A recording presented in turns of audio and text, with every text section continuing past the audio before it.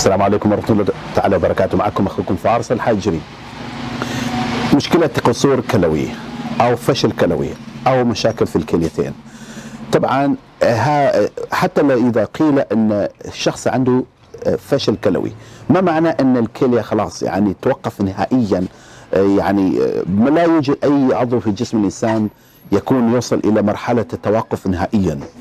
يعني تبقى طبعا يبقى الكلية دائما الخلايا حية ليس الخلايا الكليه لا تكون ميتة بالكامل بل فشل كلوي نتيجة ترسبات التي أدت إلى فتره طويلة في الكب في الكليتين وأدت إلى فشل إحدى الكليتين أو كلاهما. طبعا هذه مشكلة ممكن تفاديها لأن الشخص الذي يكون غالبا مصاب بفشل كلوي أو مشاكل كليه أو أي حصاوه في الكلية.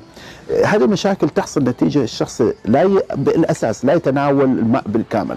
يعني لا يلتزم بالماء. أو طبعا قد تكون هناك أسباب أخرى نوعية الماء التي الشخص يتناول يعني يشربها ليس غير نقيا مع يعني فيها مع مواد ضاره مثل نسبة عالية من الكلورين نسبة كثير مرتفعة.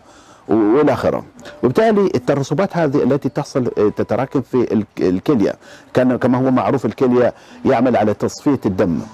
والدم فيها نسبة عالية من كمية الماء. في بلازما الدم فيها نسبة 92% ماء. ولذلك مع الالتزام بالبرنامج الصحي والعلاجي لطريقة تناول ماء ساخن وفق البرنامج محدد وفقا لدرجة الحرارة يعمل على توفير خلايا الكلية بعناصر المغذية الأساسية حتى تعمل بشكل سليم وهي هذه العناصر الأساسية جميعها من خلال البرنامج ماء ساخن وهي واحد الماء ثانية الأكسجين. ثالثة الهيدروجين ورابع الطاقة. هذه عناصر أهم مهمة جدا جدا. وبالتالي مع الزمن ممكن الشخص تعيد وظيفة وظائف الكلية بشكل طبيعي. طبعا لابد مراجعة طبيب والتأكد من إجراء فحوصات طبية.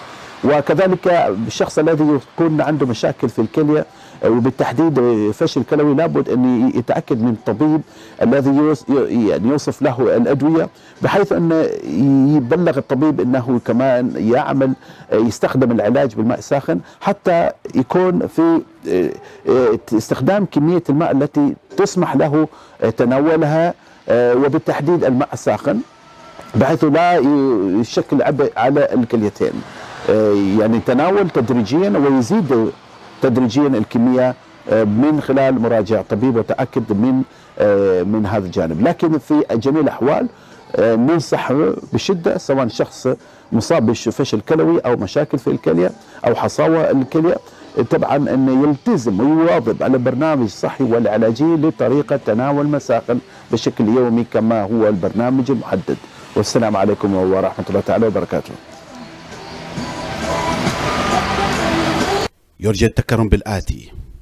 تسجيل اشتراكك بقناة اليوتيوب الخاص للدكتور فارس الحجري. نشرها على الآخرين ليستفيدوا كذلك. تسجيل ملاحظاتك. تسجيل تجربتك. فهناك الكثير ممن يؤمن بتجارب الآخرين.